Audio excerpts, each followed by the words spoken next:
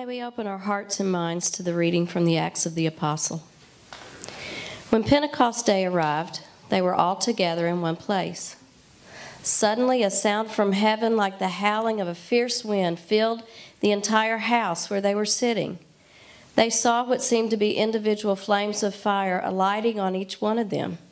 They were all filled with the Holy Spirit and began to speak in other languages as the Spirit enabled them to speak. There were pious Jews from every nation under heaven living in Jerusalem. When they heard this sound, a, a crowd gathered. They were mystified because everyone heard them speaking in their native languages. They were surprised and amazed, saying, Look, aren't all the people who are Galileans, every one of them? How then can each of us hear them speaking in our native language?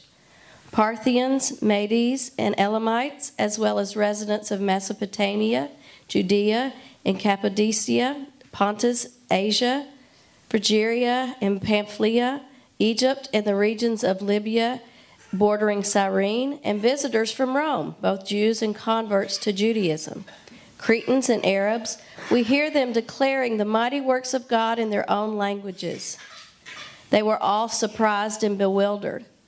Some asked each other, What does this mean? Others jeered at them, saying, They're full of new wine. Peter stood with the other eleven apostles. He raised his voice and declared, Judeans and everyone living in Jerusalem, know this. Listen carefully to my words. These people aren't drunk, as you suspect. After all, it's only nine o'clock in the morning. Rather, this is what was spoken through the prophet Joel. In the last days, God says, I will pour out my spirit on all people. Your sons and daughters will prophesy. Your young will see visions. Your elders will dream dreams. The believers devoted themselves to the apostles' teaching, to the community, to their shared meals, and to their prayers. A sense of awe came over everyone. God performed many wonders and signs through the apostles. All the believers were united and shared everything. They would sell pieces of property and possessions and distribute the proceeds to everyone who needed them. Every day they met together in the temple and ate in their homes.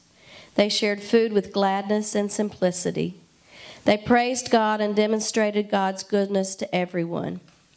The Lord added daily to the community those who were being saved. The word of the Lord. What was that? Perhaps you've heard or asked this question before. In the quiet of evening when you've retired for the day and you hear a loud noise coming from somewhere in the house or outside a window. What was that? Perhaps you've responded after watching an unexpected ending to a movie or a performance. Or maybe after witnessing a scene in which some kind of tantrum or emotional outburst breaks into a seemingly peaceful gathering. What was that? Today is Pentecost. It's a time when we celebrate the birth of the early church, and it brings a similar question to mind. Our church ancestors, the disciples, and about 140 of their close family and friends were hunkered down together in one place, the scripture's careful to note. They were waiting. Remember, Jesus has ascended to heaven and but had promised to remain with his believers in spirit, to send them someone to guide them and to walk with them and to walk beside them on life's journey. I would guess they had been looking and waiting and hoping. Where was this presence? Seemed to them like it was pretty much business as usual. They were still being oppressed and marginalized. Folks were still laughing at them for what they believed. Folks were going about their business with the larger part of the population still not buying in to this ministry of Jesus. And now, during this Jewish festival, the folks gathered in this room were no doubt strategizing their next move. How might we continue to be faithful, especially now that our Messiah is no longer physically present? Perhaps they were asking themselves, how will we ever overcome the evils of the world or offset the messages filled with religious piety and financed through political oppression? Can't you just picture these 150 or so folks debating and pondering their next move? What was that? A mighty wind some tongues of fire, a great disturbance, and lots of excitement. So, in the scripture that Anna Gale read, full of some really tough words, by the way, Anna Gale, so sorry about that. But what happened here anyway? In a nutshell, three things. The first one was this that God came unexpectedly, which of course is nothing new. God seems to make a hobby of sneaking up on the human race when no one is looking except those with the faith and those with the heart to recognize God in strange places.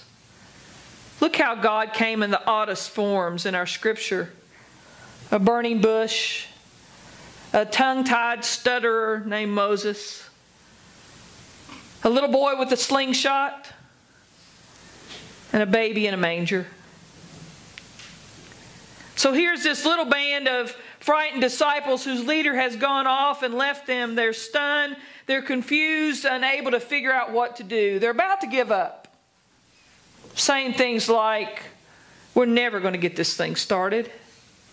We're never going to get this gospel message off the ground. It's never going to grow. I heard that message about five years ago. Then along comes God unexpectedly when no one is looking. I like to share this story. You may have heard me share it before. It's the story of a little boy by the name of Angelo. Lived in a small town near a South American border, and one day he crossed the border and came back with a wheelbarrow full of sand. When the customs inspector got suspicious and asked him what he was smuggling in the sand, Angelo replied nothing. The customs officer made him pour out all the sand and sifted through it before he permitted him to go on. The next day, the same thing happened. The third day, fourth day, and so on. Weeks, months went by. Every day, the inspector said, Now, Angelo, I know you think I'm going to get careless someday and you're going to smuggle something across, but as long as you bring this sand, I'm going to make you pour it through this screen. So don't you ever think you're going to get by with something. Well, Angelo kept coming for five years. Every day appearing with his wheelbarrow, and every day the customs folks made him pour it out and sifted through it and found nothing. One day, little Angelo didn't show, but everyone heard how he had prospered and bought his parents a big house and had a thriving business. Years later, the inspector who'd retired met Angelo on the street and Ask him, How did you become so prosperous when you spent so much time hauling sand across the border and there was never anything in it? Angelo smiled and said, My friend, during those five years when you were paying so much attention to the sand, I smuggled 1,593 wheelbarrows into this country.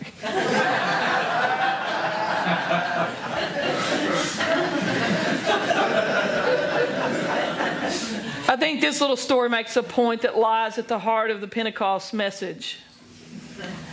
Namely, that sometimes we grow so accustomed to thinking of God in a certain way and looking for God in a certain form that we're caught completely off guard as to who God really is and as to where God can really be found. The disciples had their preconceptions and were no doubt shocked beyond words when the Spirit came upon them when they least expected it. But the fact is, my friend, the God of Pentecost is the same God who came at Christmas and rose on Easter morning, who keeps appearing unexpectedly in our lives. The God of Pentecost is seen when churches proclaim an inclusive love, sharing with others God's grace, which is open to all who seek to be in communion with their Creator and with one another. You see, when inspectors of Christian faith focus on hurtful and hate filled messages that they post on YouTube or Facebook or billboards, which take our beloved scripture completely out of context, we can emerge across the boundaries with wheelbarrows filled with folks who've been marginalized by society, rejected by churches, or perhaps worst of all, they become indifferent to the imaginative possibilities of what a true community grounded in God's love can be. This Pentecost story is about something else. It's about inviting us to start anew in our own Christian lives. Perhaps you're going through a difficult time. Someone you love has come and gone the way Jesus did for the disciples. Maybe you're confused this morning, disoriented. But if you'll be open to it, God can come totally out of the blue. Perhaps God has been there all the time, smuggling just little bits of grace into our lives in ways we never imagined. The second thing that happened with those folks gathered in the room was that the church caused a disturbance unexpectedly. Clearly, something was happening that day. We're not exactly sure what. But it was kind of wild and swashbuckling and sort of hard to explain. Think of that first Pentecost. There was a big disturbance with lots of commotion. The world said, That bunch over there must be drunk. But Peter, a real have sermon, real travel kind of guy, he said, Nah, they can't be drunk. It's only nine o'clock in the morning. But Peter said, Now that I have your attention, let me tell you about Jesus Christ. Now, here's an interesting model for evangelism. No revival or crusade with thousands stumbling forward to just as I am. But instead, the church does something startling in the community. And the world says, What are y'all doing over there?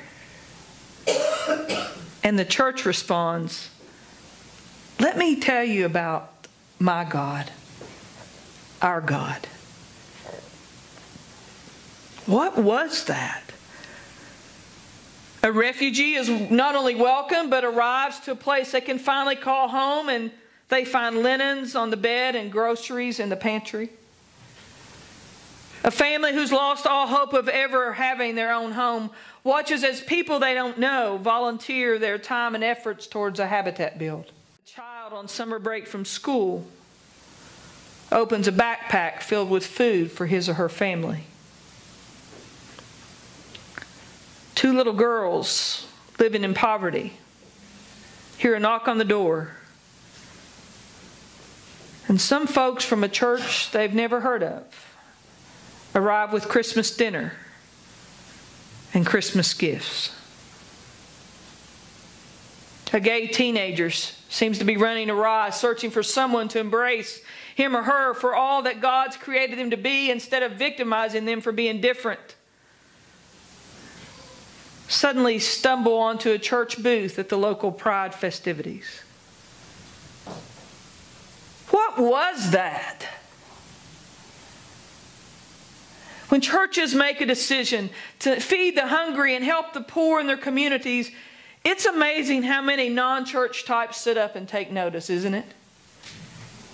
Some of them even sign up to serve stew or help counsel people who are struggling with financial responsibility or interviewing for jobs. I've seen it happen time and time again.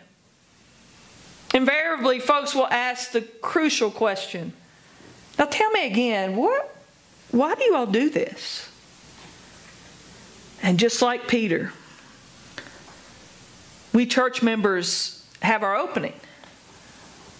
Let me tell you about a God of inclusive love. Or if we don't want to be that explicit, we can treat it the way Philip did with Nathanael and simply say, Come and see. Come to church on Sunday morning with me. First, God came unexpectedly. Second, the church caused a disturbance that made the world sit up and take notice. And third, the people came together in a way they had never done before. It's always amazing to me to see how God brings us together. People with different languages, different political persuasions, different theological ideas. What was that? Well, over there in Diana Drive, there are Baptists and Presbyterians and Catholics and Episcopalians, Reformed Jews. Well, there's some people not quite sure what they are, or if they are anything. What was that? You come in that church and there's black folk and white folk, young and old, struggling and comfortable, gay and straight and transgender. Can you hear the question fill in the air when people see us gathered under a pride booth or in these chairs Sunday after Sunday? What is that? and yet, yet together we form a church family in such a way that even a first time visitor to the church remarks to the pastor on a Sunday afternoon more than four years ago and I might add, this first time visitor has become an integral part of our church family. But here's what they wrote to me just a week or so after their first visit with us four years ago. And I quote When I entered the sanctuary, the Spirit, she met me. I smiled and I sat and I watched. I watched and saw a glimmer of what church can look like. I saw people hug and kiss and touch and smile. I experienced people being real. And I swear, Marsha, my experience of church began long before you came into the sanctuary, long before the official service ever began. I surveyed the room and I saw people sitting together, touching, being who they were, and I felt the ghost of my long past hurt begin to fade away in a mystical kind of way that I can't really explain. I felt myself saying, Well, I thought there was no hope left for the church. And suddenly, before my very eyes, there was the gospel. And I felt myself move to tears and the service hadn't even started. I looked at my friend and said, I need a Kleenex. Wow. Talk about a burning bush kind of moment. I experienced the gospel without a word being said.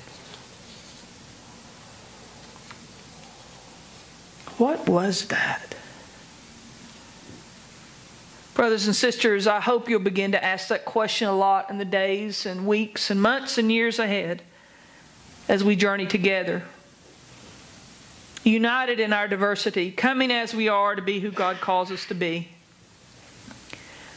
You see, when the Spirit moves us and when we choose to be open to God's Spirit among us, God will come in unexpected places and people and circumstances. About three years ago, around this time of the year, I pronounced with admittedly some anxiety to Bluegrass United Church of Christ and to the folks of Emmanuel United Church of Christ. I said, I don't know what God's Spirit's trying to do here, but if we'll get out of the way, something amazing might happen in the life of our churches.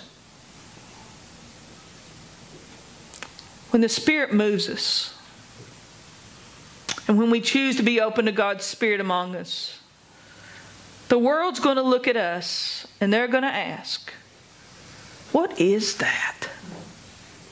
Who are they? The community of faith seems to be different than the ones that get the most airtime or have the largest buildings or budgets. But folks will say, these folks are walking the talk of Jesus in a way I've never experienced. When the Spirit moves us, and when we choose to be open to God's Spirit among us, We'll come together like we never have before. Like our ancestors of faith in the midst of despair and confusion, we'll step out in faith and proclaim the gospel message to all those who look and talk like us and those who don't. And we will rely on God's Spirit working through us to be the translator of a message that seemed foreign and drowned out by the familiarity of rhetoric and easy answers to difficult questions. Little Kiara asked a difficult question, didn't she? And there's not an easy answer. But I hope, I hope that people will look at us and say, What was that? And I hope it'll be answered by us in our actions, in our spiritual disciplines, in our commitment to our faith and our church. That is God. That's God's lessons. That's God's healing. That's God's challenge. That's God's love. That's God's inclusivity. That is God's radical actions of justice. And you know what? We may be accused of being drunk or worse. But that's what Pentecost can be for us. That noise which hastens us and strengthens us for the journey ahead. That wind that blows us wildly out of our comfort zones. That is God challenging us and calling us. Sweet Spirit of God working in us and through us.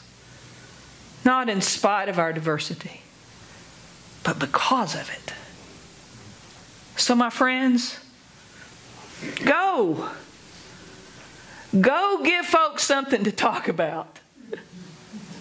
And live full of the Spirit, which we claim still blows wildly in our lives. I hope they call me drunk every day. Amen.